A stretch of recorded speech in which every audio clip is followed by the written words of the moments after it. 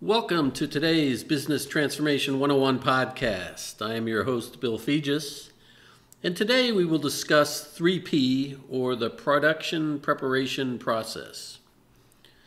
3P is the process of developing an integrated product and production system that will meet the requirements of product design quality at the necessary production volume at the target cost by the target date.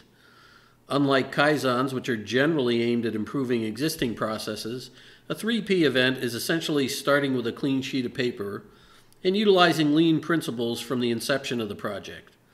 Note that 3P can also be focused on just a process or product design, but is more powerful when the 3P event couples the product and process from the start. The 3P team members link the process hardware, such as fixtures, materials, equipment, tooling, and tools to the process software consisting of material flow, information flow, standard work, and inspection to provide an effective production system. The team incorporates lean concepts such as one piece flow, takt time, poka-yoke or mistake proofing, chaku chaku or load load, auto eject, ergonomics, quick changeover, pull systems, TPM or total productive maintenance, and the avoidance of monuments. 3P can provide a sustainable competitive advantage through a differentiated product design coupled with a differentiated production process. While competitors can buy a product and reverse engineer it to close a differentiation gap, it is much more difficult to reverse engineer the process that produced the product since it is hidden away in the company's facility and production processes. The 3P process should be used when some of the following situations exist. A new product is being developed, an existing product is undergoing a significant redesign, there is a significant uptick in demand, or a new plant is being built. Also, if there are significant barriers in the existing product process that are limiting the company's ability to meet customer demand effectively and profitably. And finally, when there is a need to create additional space in a facility. The 3P process should also address safety, quality, introduction lead time, delivery, product cost, capex, inventory, and growth. As with all lean improvement tools, the 3P team should be cross functional with members from marketing, new product development, process engineering, production, field service, etc. The team's first task is to agree upon the objectives of the 3P event. These could include product features and performance, customer demand level, quality requirements, target cost, production lead time, etc. Once the team is aligned on the objectives, they begin by itemizing the key functional items of the product and production process to determine which items should be explored for improvement. Each team member identifies the key words that describe the function or functions of the item being improved. Key words that describe the item's function could include examples of clamp, spin, hinge, grip, crush, adhere, drill, or enclose. Next, each member identifies potential examples from nature that match their keywords. Examples could be for clamp, Nature example could be alligator's jaw. For spin, it could be a tornado. For a hinge, it could be a hip joint. Grip could be met in nature by eagle talons. Crush by a lobster claw. Adhere by a barnacle. Drill by a woodpecker. Or enclose by a turtle shell. The purpose of using examples from nature is to encourage and stimulate innovative thinking. Nature has spent millions of years evolving and perfecting these examples, and the objective is to fuel ideas from this pool of evolutionary development. Each team member groups their keywords and their nature examples into similar categories, and then sketches an example for each group detailing the key attributes. Each member should create at least seven sketches for design ideas.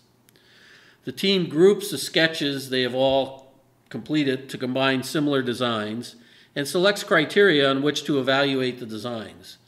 The criteria are listed on a 3P evaluation form along with the designs from the team.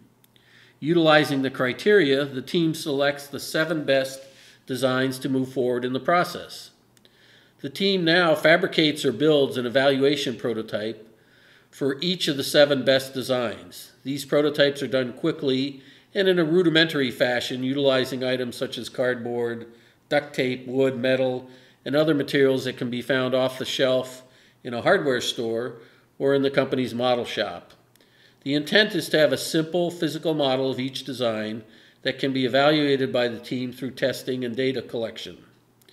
This prototyping process is sometimes referred to as moonshining since it is hidden from the company's top management and built on scavenged materials. These seven prototype designs are tested against the criteria from the prior 3P evaluation form, and data is collected. They are also evaluated on a 3P seven way form that rates each of the seven prototype designs on poka-yoke or mistake proofing, hand tools required, jigs, and fixturing required.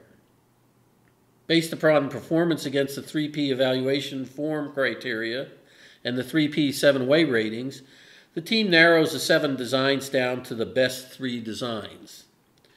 At this point, the team iterates each of the remaining three designs to further refine and improve the designs. This process should be done using try-storming, which is a hands-on refinement approach that consists of modifying, testing, modifying, and so forth, not simply just talking about potential refinements. The team also develops a process at a glance form for each design that documents the process for realizing each design in production. An evaluation committee is formed which represents design engineering, manufacturing engineering, sales, marketing, purchasing, quality, production, the tool room, and operators to judge the three refined prototype designs and select the best design. The team presents each prototype design and its associated data to the committee working to sell the design as the best option. The evaluation committee selects the final design based on the team presentations on each design idea. This process is repeated by the team for any other key functional parts of the product that should be explored as well as for any key processes. The team documents the best design options for each functional item of the product and production process.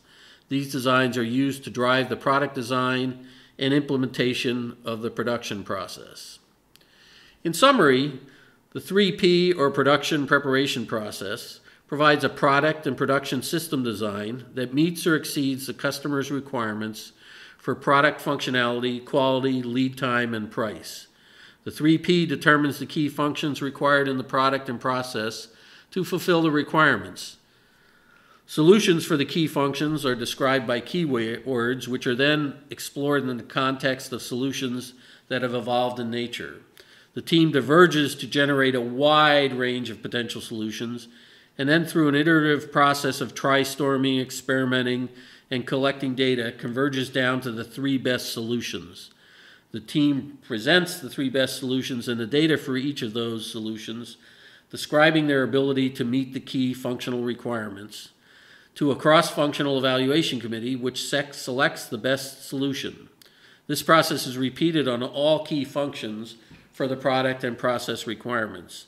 The outputs from the 3P process are used by the team to implement the product and its production process that support the customer's product design and quality requirements while also meeting the demand level, lead time, and cost targets. In the interest of continuous improvement, I invite feedback from our listeners. Please share your thoughts and ideas on these weekly podcasts and feel free to suggest topics which you believe would provide useful information for you and our listeners. Thank you for joining us for today's podcast on 3P.